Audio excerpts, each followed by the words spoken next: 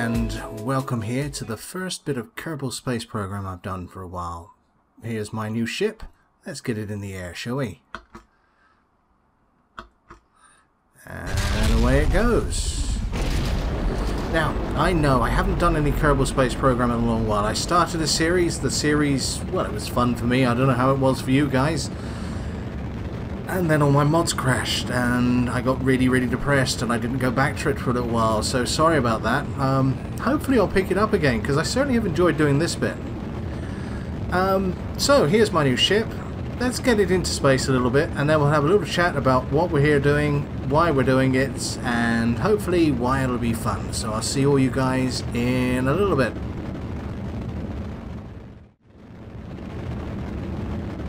Yeah, that's a bit quieter. Now, now that I can hear myself think, what are we doing here? Well, Kerbal is at war, and has been for quite some time. There's been war between the continents, there's been war between the corporations, and now the Northern Coalition, who were the policemen in the last war, have decided that they've had enough. They've decided to take over the world, take over space, and limit everyone's freedom. Well, we, we here at the Super Happy Reliable Corporation will not allow that. Weird Shark, makers of such wonderful things as munitions, space fuel, and snacks, especially snacks, have decided that this is not acceptable and this is our first commercial launch into space to deal with the threat of the Northern Coalition. So, what do we have here? Well, I'll go through the ship a little bit, but what we basically have here is a number of different ships all being launched together. Um, the reason for that being the rules allow only one launch per turn or the movement of two ships. If you haven't seen the introduction to this, which hopefully should have been posted on my site for a, a week or two um, by now, uh, please go and watch it at this point. In fact, to be totally honest you, it's not going to make any sense to you whatsoever if you don't go and watch it by now. Um, so pause the video, go and have a watch, come back when you're done. We'll wait. We're still waiting. Okay, right, they're gone. Let's carry on. Um, so, this ship here is designed to do two things. First of all, it's designed to put a military and scientific pre presence around the planet of Duna. And the other thing it wants to do is, if as you saw in the last episode, because I'm sure you went and watched it by now, um, we're here to uh, go and capture the pilot who was stranded in the last episode.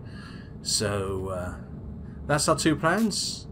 Um, while we're waiting to get into orbit, why don't we hop back to the VAB and I will give you a breakdown of this vessel. Well, here we have the Duna Visitor in all her glory. Let's go through the various bits and pieces, shall we? Okay, going down to the bottom, we have the launch section. In there we have... Let's get rid of these launch clamps. Alright, uh, we have some booster rockets. Standard fare and that leads us down to an asparagus stage. Oh, let's get rid of these ones as well.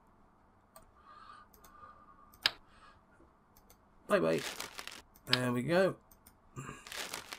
So this leads us to an a, a, standard asparagus stage. So we've got um, six rockets around the the central one. They they come off in pairs, and they feed into the central one, which will give us the final bit of the, the launch stage there, which uh, actually extends up into the rocket. So that's the last of the launch stage. That's actually not enough fuel for us to circularize the orbit, so the final bit will be happening with the uh, the interstellar stage itself, which is the reason why it's got these extra drop pods for just a little bit of extra fuel to get the circularization going.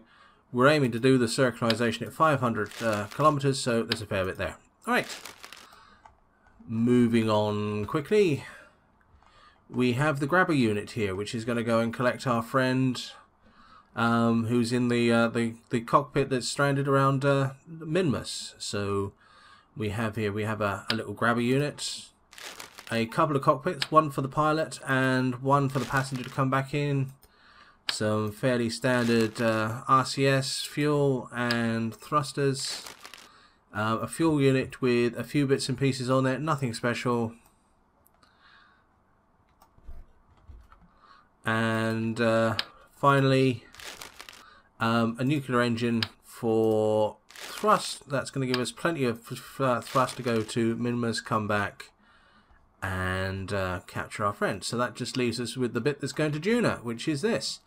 Now there's several ship, ships here, so let's deal with these in turn. The first set here is these um, communication satellite blocks. Now there's four communication satellites here. There's two of these units, so that's eight communication satellites in total. They're very simple. They each one has an antenna. It has um, a nuclear engine and a little command pod. So there's there's four of those per unit and two units. So that's plenty of communication satellites to go out in Duna. And the other thing we have here is these little drone, for drone fighters, which are a little bit more complex, but not that much.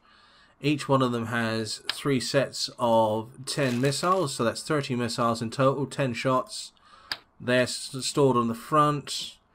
Then we have some very simple stuff. There's, uh, let's put that back. Right, a little bit of RCS for maneuvering, docking, things like that.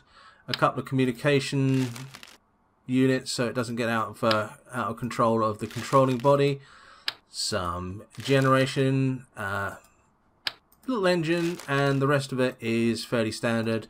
We've got a probe core, we've got RCS above it, uh, uh, sorry, SAS above it. There's the probe core, a little bit of MechJeb, and the rest of it is just fuel. So that's them. So if we get rid of these, we are left with the interstellar body itself. Hmm, when it stops thinking about it. Oh. That's why. Let's get rid of that. Off you go.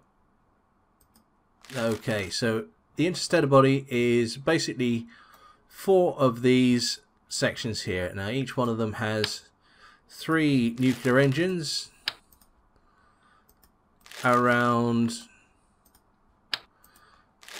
some fuel, SA, a nose cone for a little bit of a style and um, grace, uh, an SAS unit, and a lot of fuel. Okay, so moving on from those, we have an orbital main satellite body, which is actually I'm I'm kind of planning for this to be a return unit as well. So um, eventually this lander will be coming back up to the surface. Uh, the opportunity is there to dock with this and return back to Kerbin. Um, this is very simple. Uh, it's got a little poodle engine at the bottom. Get rid of those. Some um, RCS thrusters. Some fuel. And above that we have, here we have sets of, um, what are those? They are antenna some uh, a mixture here of RCS, probe core, and battery. Around a, a little bit more RCS, a docking port, and then that leaves us with the lander unit. The lander unit has some return thrusters. Uh, those are extra drop tanks. We'll get rid of those. Um, these are the return thrusters that are designed to take it in orbit. We're left with the the, uh, the lander itself, and it's got four legs, docking port for docking again, some battery power, fuel uh, power generation there, and then we're basically left with um, habitation for five Kerbals, one in the cockpit, four in there. I'm only going to send up two for this mission, so they've got plenty of space and loads of snacks. And that's the Duna Visitor. Well, here we are. The uh, fuel in the main burner is about to run out. In fact, there it goes. And there's the separation. And Ooh, that's loud. Switching over to the uh, the interstellar drive that's going to be using those uh, drop tanks we showed you in the VAB to push us up to the final orbit. We're almost in orbit now, but we want to get up to uh, a, a, nice, stable 500 kilometer orbit, and then we will separate off the uh, the rescue craft from the the interstellar body, and those two can go their separate way. Burfield off to uh, rescue the person that got uh, shot down in the last episode, Kerbis and Urquhart, well, they're off to Duna. I'll see you then. Right, now we're almost in our circularization burn, and as you can see, these drop tanks are just about to lose the last of their fuel. So when that goes, we'll drop those and finish off the circularization. It's going to happen any moment now.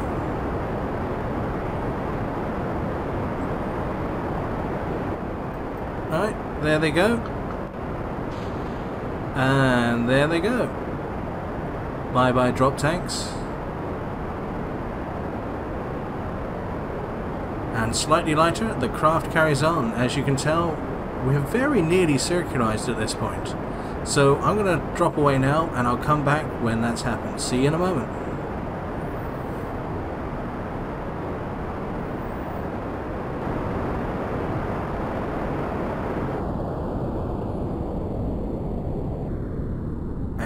finally we get into orbit. Just a, a, little bit of correction here to make sure that we're completely circular. And then what we're going to do is we are going to split off some of these bits and pieces and start the missions popular, proper. Popular? Proper. Proper. That's the word, proper.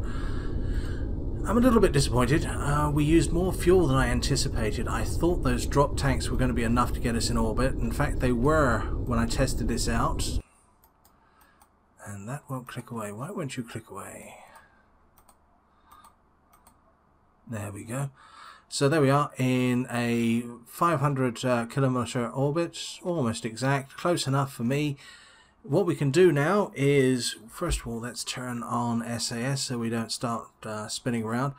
And I want to detach a few bits and pieces. The first thing I'm going to do is I'm going to decouple the reclamation vehicle. So that can go off on its merry way. We'll sort that one out in a minute. And one thing I would like to do here is I want a satellite around Kerbin. So before we go any further come on you click.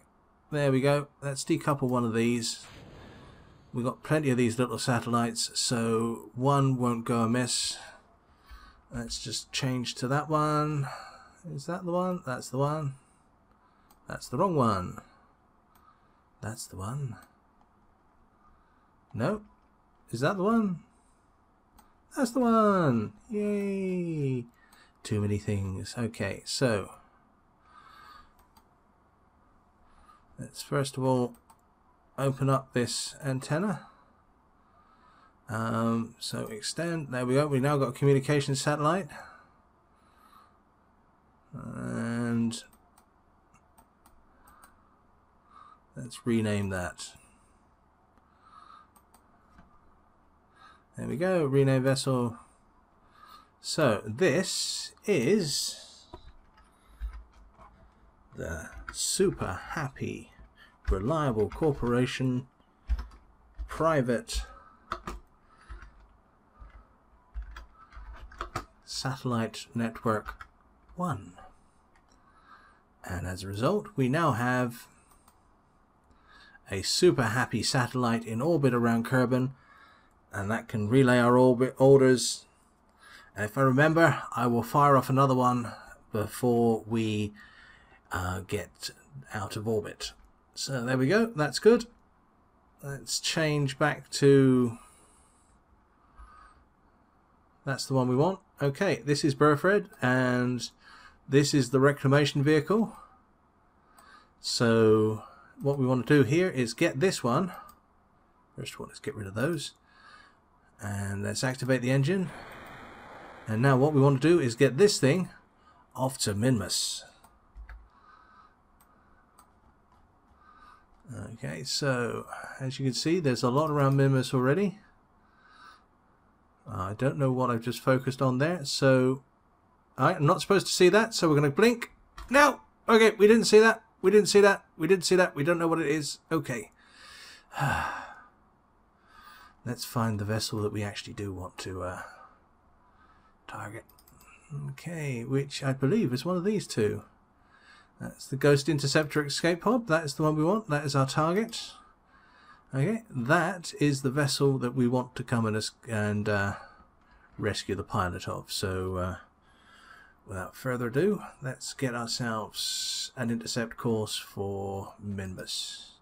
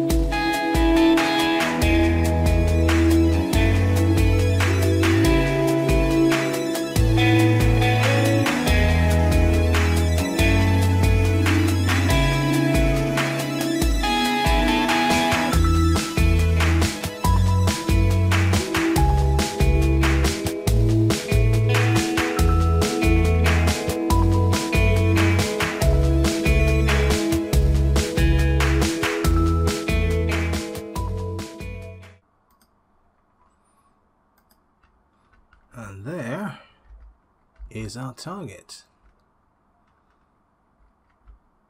So let's go and say hello, shall we?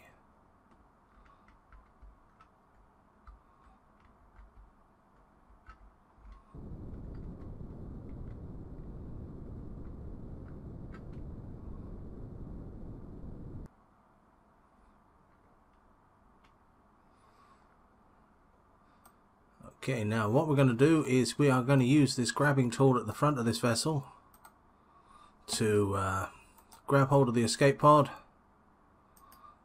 and then we're going to go knock on the door and ask him to come join us. Not entirely who, who is certain who is in there at the moment, but whoever they are, they used to be they they're working for the Northern Coalition and they need to be questioned. So here we go. Going to speed things up a little bit now until we get really close and I'll slow down for the final grabbing action.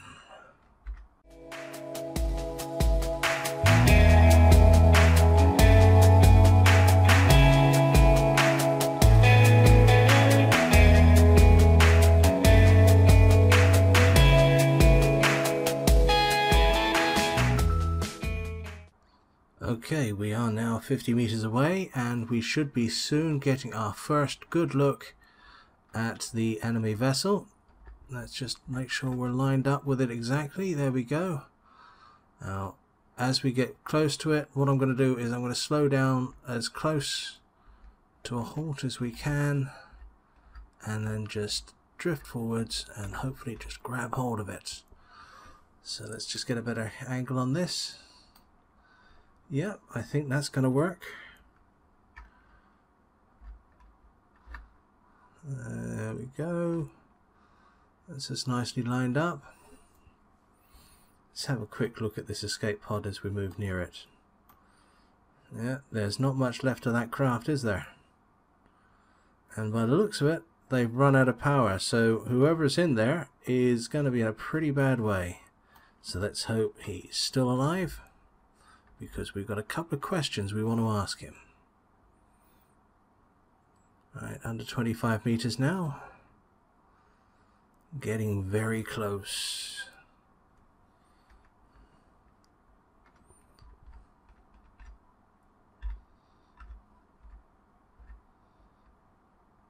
So a couple of little nudges just to make sure that we're lined up exactly 20 meters away. Doesn't Minmus look magnificent? We're nearly there.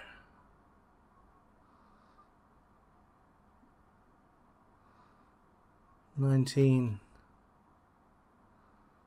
Uh, I know this is really slow, but the last thing I want to do is knock this thing out of orbit when we get there. So let's take our time, make sure that we match exactly right. Very, very touching. Yep, that's lined up correctly. And hopefully, we will have a Kerbal weakening. Interrogate when we get back to Kerbal.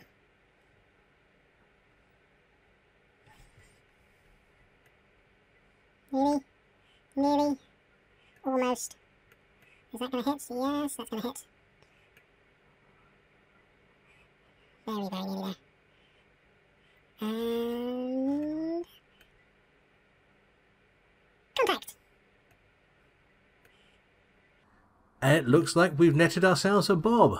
Hello, Bob. Now, Bob, I think Burford's got something to say to you. Bob, it's time for you to face the music. Get out of that ship and come into the spare capsule.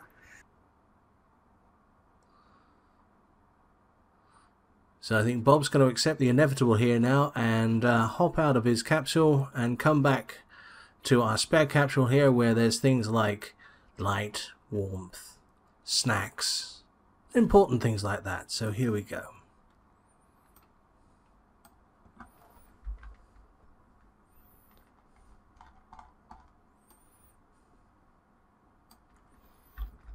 Oh dear.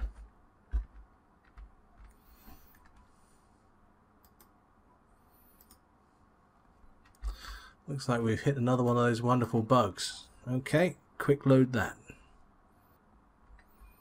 Alright, and here we are, reloaded. We're coming up again. I'm going to speed this bit up so you don't have to see it a second time. But that was frustrating. But that's Kerbal Space Program for you, I'm afraid. And this is the reason why you hit F5 fairly often.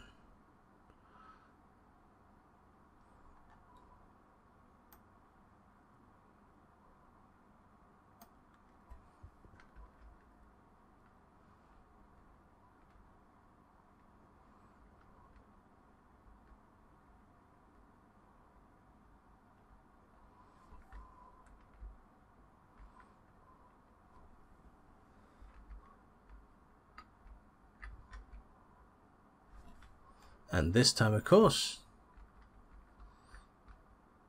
it doesn't work.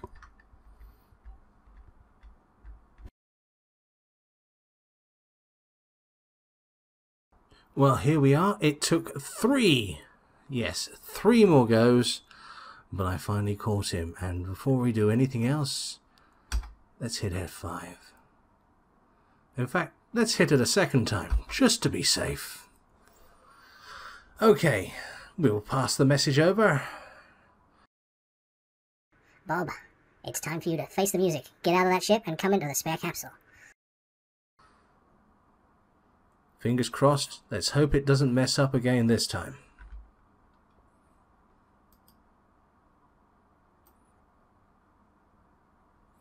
And it messes up against this time. So, Bob, sorry about this, mate but you're traveling home in the front capsule. Don't know what's wrong there, but there is something wrong there. What it probably is, actually looking at this, is there... Yes, yes, yes. Um, it looks like the armor plating is covering the door, so he's glitching as soon as he's coming out. But never mind. What we're going to do now is we are going to take him back to Kerbin. Because it's time for us to have a chat.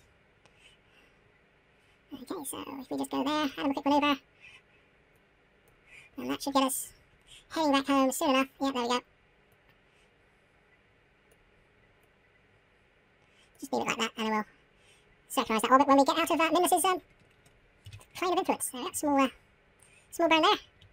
So I won't bother you, I won't bore you with uh, the details. We're going to go into hyperfast mode now.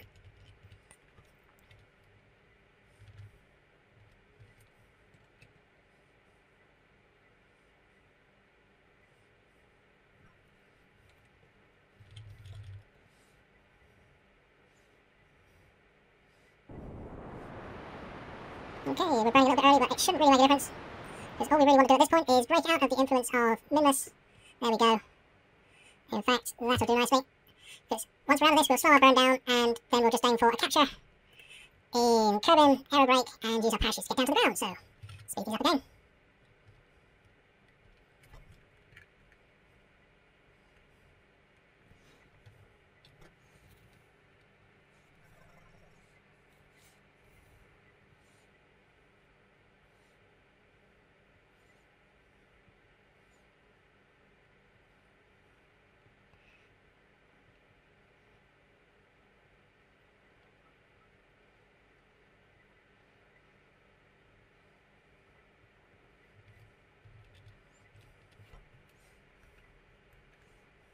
So here we are then, in orbit around Kerbin proper.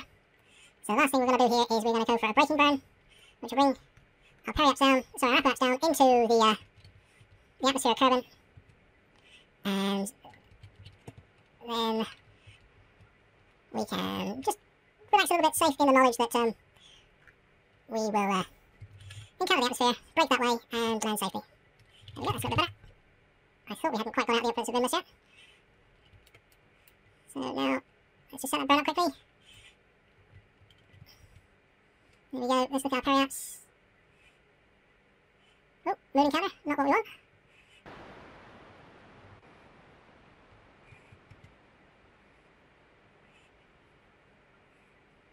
Yeah, this is not the most efficient way of plotting a, a, a burn back from the moon, but quite frankly we have so much fuel, I actually want to burn some of it. Uh,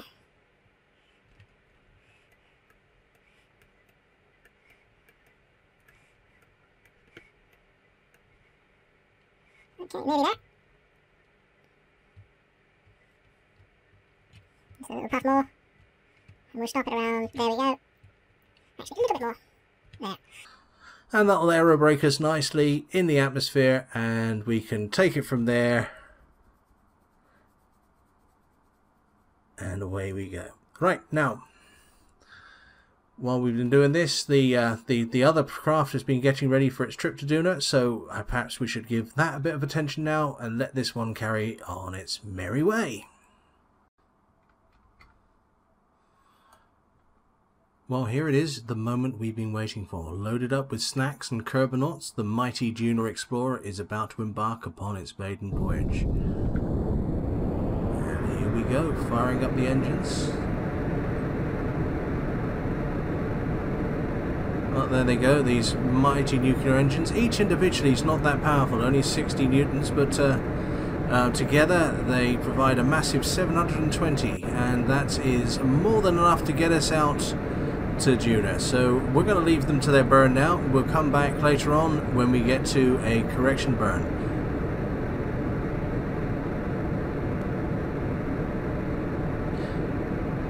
And you know what? While we're at it, this seems like a good point to drop off another satellite. So, which one did we use last time? That one has got four on it, so it wasn't this one. So, bye-bye satellite. We'll come back and rename you later on. Oh, hold on.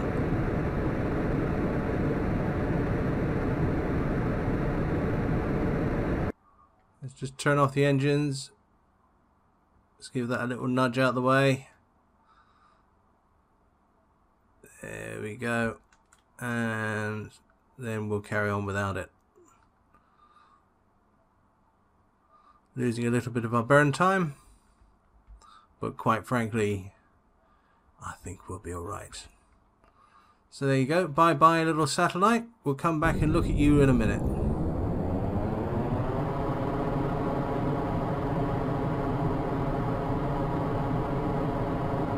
He almost came along with us. Alright. Back to your normally scheduled burn.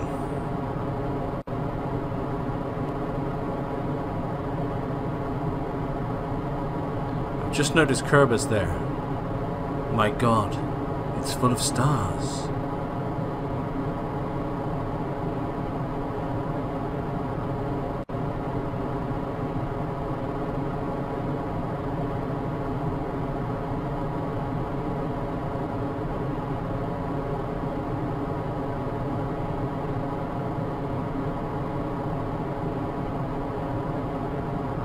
You know what? I think we've had enough of this. I'll see you at the end of the burn.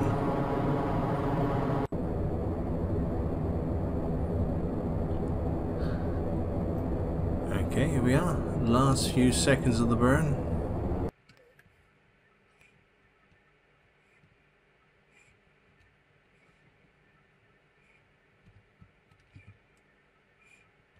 Just get those last few meters per second with a little bit of thrust.